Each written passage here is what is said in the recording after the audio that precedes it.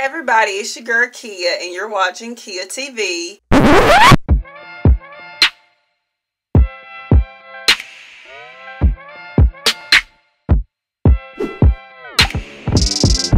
they won't be on this channel, y'all, because this is all about me.